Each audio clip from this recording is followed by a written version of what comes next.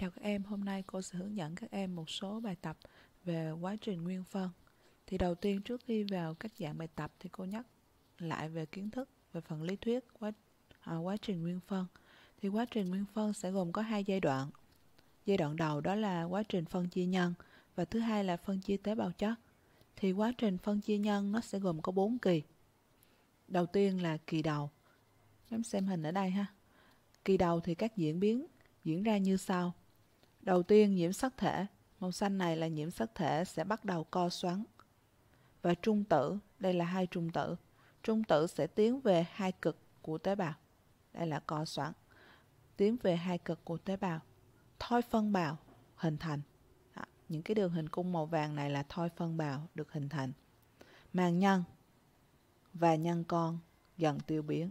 Cái phần vòng bên ngoài là màng nhân để dần tiêu biến. Thì đây là uh, cuối kỳ đầu mình nhớ ha nhiễm sắc thể nó đang ở dạng nhiễm sắc thể kép.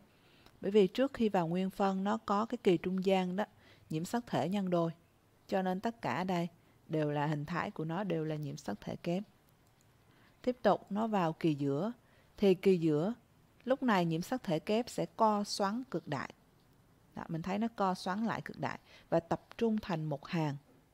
Chú ý ha đây là một hàng trên mặt phẳng xích đạo của thoi vô sắc à, thoi vô sắc hay còn gọi là thoi phân bào. Thì nhiễm sắc thể lúc này sẽ có hình dạng và kích thước đặc trưng cho loài. Nhớ ha, có một số câu hỏi người ta sẽ hỏi là nhiễm sắc thể có hình dạng đặc trưng đó là ở kỳ nào? Chính là kỳ giữa, nó tập trung thành một hàng trên mặt phẳng xích đạo. Tiếp theo đó là kỳ sau. Thì lúc bây giờ, mỗi nhiễm sắc thể kép nó sẽ tách nhau ra ở tâm động để tạo thành hai nhiễm sắc thể đơn hai nhiễm sắc thể đơn này sẽ được đi về hai cực của tế bào theo cái thoi phân bào nó kéo về hai cực của tế bào. À, bây giờ ở đây trạng thái của kỳ sau chính là nhiễm sắc thể đơn. Và kỳ cuối. Kỳ cuối lúc bây giờ nhiễm sắc thể giãn xoắn dần.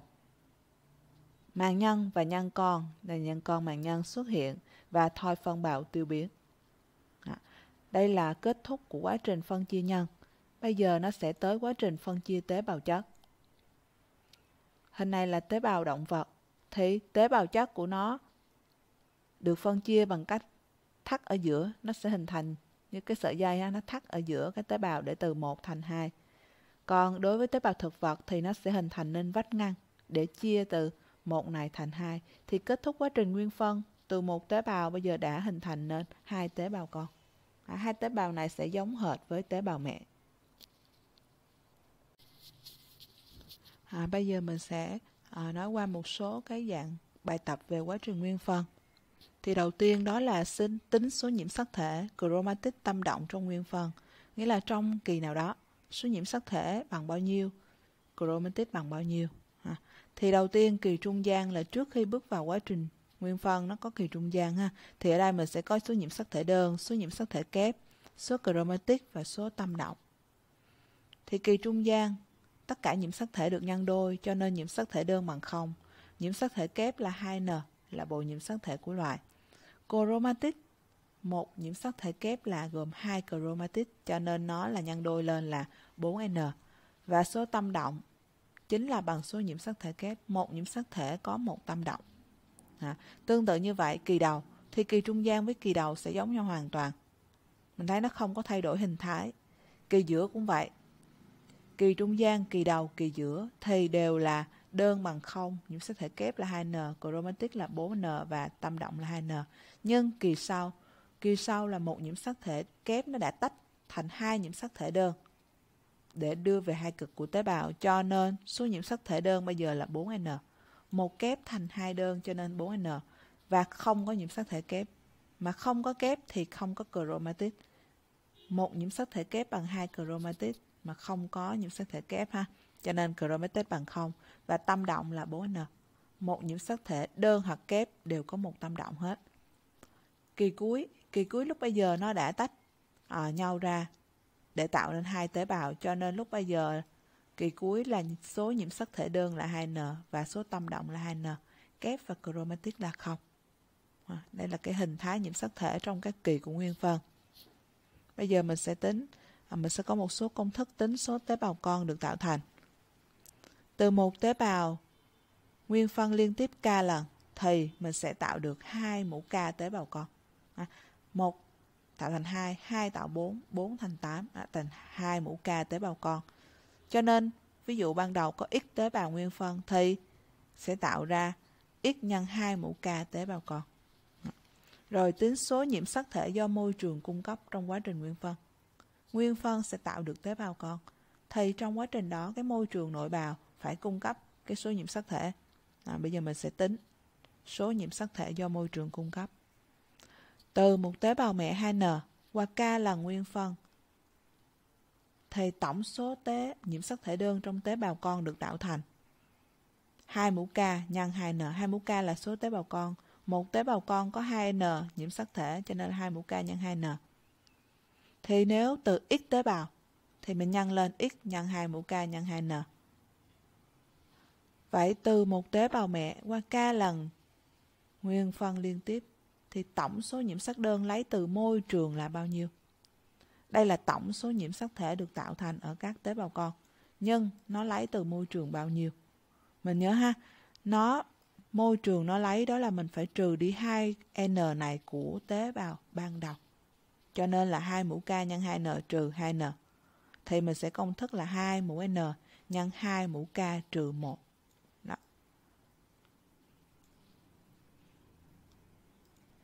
À, 2 mũ K trừ 1. Mình phải trừ đi một tế bào mẹ ban đầu. Môi trường chỉ bổ sung 2 mũ K nhân 2 mũ N trừ 1 thôi. Đó. Và nếu từ x tế bào ban đầu thì mình nhân x thêm vào x nhân 2 n 2n là bộ nhiễm sắc thể của loài. 2 mũ K là số tế bào được tạo ra. Trừ 1 đi, trừ 1 tế bào ban đầu. Vậy nếu mà tính tổng số nhiễm sắc để đơn mới hoàn toàn. Nhớ là mới hoàn toàn nó khác với nhiễm sắc thể đơn lấy từ môi trường. mới hoàn toàn à nhiễm sắc thể đơn mới hoàn toàn lấy từ nguyên liệu môi trường thì mình phải trừ cho 2 nhớ nhớ hai công thức này ha. X2 mũ n mũ k trừ 2 đó, mình suy luận từ công thức này mình sẽ suy ra thẳng luôn công thức. Đó là 2 mũ n nhân 2 mũ k trừ 2 còn nếu mà nhiễm sắc thể lấy từ môi trường thì là trừ 1 còn nếu mình thấy tiểu mới hoàn toàn thì mình trừ đi 2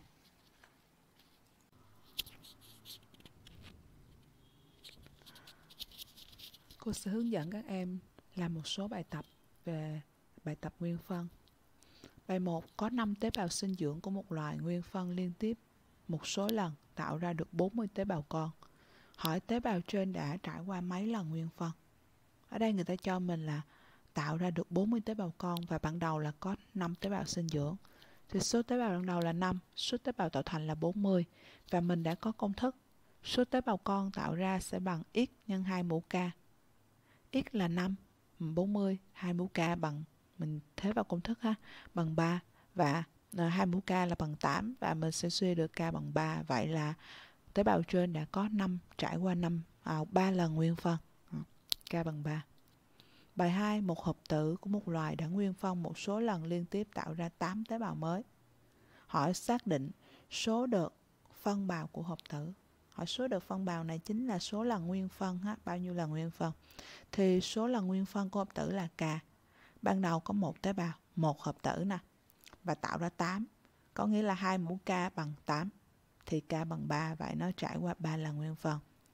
Câu B xác định bộ nhiễm sắc thể lưỡng bộ của loài và viết và tên loài biết trong quá trình nguyên phân môi trường đã cung cấp nguyên liệu là 322. À, mình biết môi trường cung cấp nguyên liệu mình đã có công thức rồi. Môi trường cung cấp chính là hai mũ 2n nhân 2 mũ k trừ 1. Tại vì ở đây là chỉ có một hợp tử thôi, một tế bào ban đầu. Cho nên là 2n nhân 2 mũ k trừ 1. Và mình đã có người ta cho mình là 230 322 thì mình có thể suy ra được k và n. À 2n. K là mình biết rồi, à, 3k bằng 3 rồi. 2 mũ 3 là trừ 1 là 7 rồi mình chia ra 2n46 thì ở đây chính là người. À, câu 3 một hộp tử của gà 2n bằng 78 nguyên phân một số lần liên tiếp. Các tế bào con của hộp tử trên chứa tất cả là 624 nhiễm sắc thể ở trạng thái chưa nhân đôi hãy xác định. Số lần nguyên phân. Thì đây người ta cho tế bào con chứa là 624 nhiễm sắc thể là toàn bộ nhiễm sắc thể ở tế bào con. Thì mình có rồi 624 sẽ là 2 mũ 2n nhân 2 mũ k. 2 mũ k là toàn bộ số tế bào con. Mỗi tế bào con là có bộ nhiễm sắc thể 2n. Cho nên mình có 2 n là 78 nhân 2 mũ k bằng 200 624 thì mình suy được k bằng 3. Có nghĩa là có 3 lần nguyên phân. Và câu B, số nhiễm sắc thể các tế bào có nguyên liệu mới hoàn toàn. Mới hoàn toàn là nhà mình nhớ trừ 2, 2n nhân 2 mũ k trừ 2. Đó, mình cứ thế vào thôi. Thì mình sẽ có được là đáp số 468 nhiễm sắc thể mới hoàn toàn. Đó, tế bào, số nhiễm sắc thể trong các tế bào có nguyên liệu mới hoàn toàn. Câu 4. Ở một loài sinh vật có bộ nhiễm sắc thể 2n bằng 44. Tính số nhiễm sắc thể là số tâm động chromatic ở các kỳ nguyên phân. Mình biết rồi, kỳ đầu nhiễm sắc thể là nhớ đầu giữa là nhiễm sắc thể kép 2n kép, cho nên 2n đây là 44 thì là 44 kép 44 kép.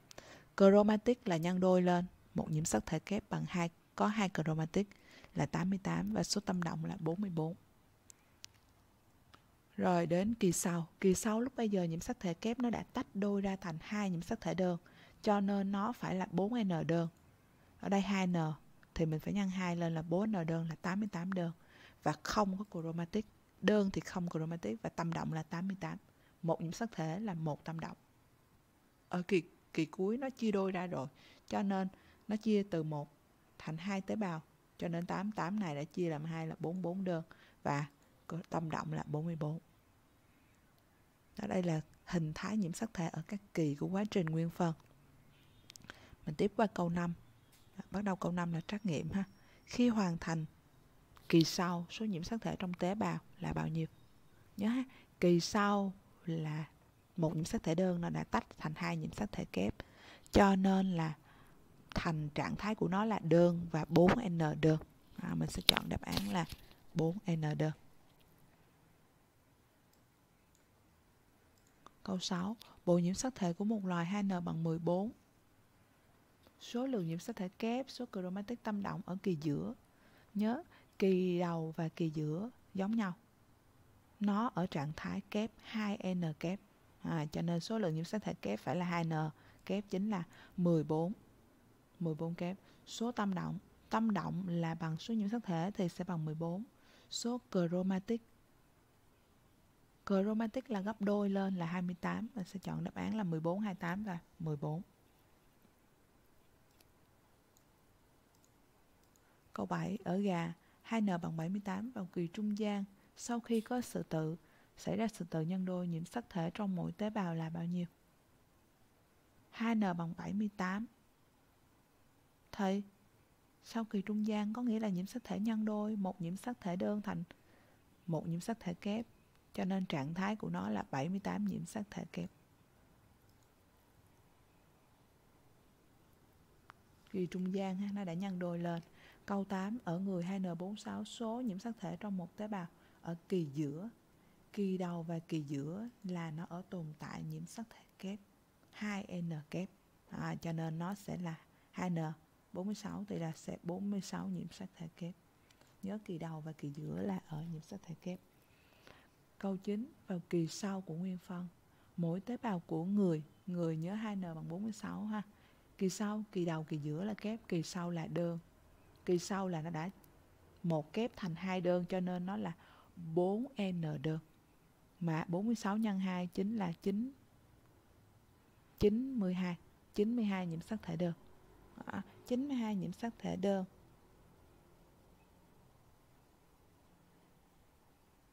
thì mình chọn câu nào kỳ sau có 92 nhiễm sắc thể kép sai 46 nhiễm sắc thể đơn cũng sai 92 tầm động kỳ sau của nguyên phân à, nãy mình nhớ không kỳ sau nè kỳ sau của nguyên phân nó là 4n đơn và 4n tâm động À, câu 10, bộ nhiễm sắc thể được ký hiệu là A lớn A nhỏ, B lớn B nhỏ, D lớn D nhỏ. Ký hiệu bộ nhiễm sắc thể của loài ở kỳ đầu nguyên phân.